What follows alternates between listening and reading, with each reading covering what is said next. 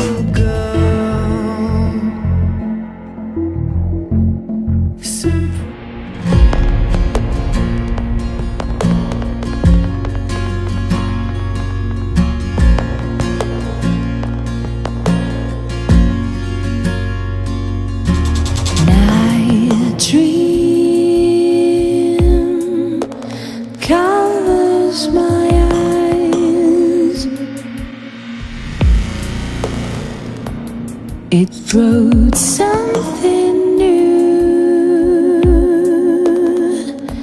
something bright. So I share now my secret with you.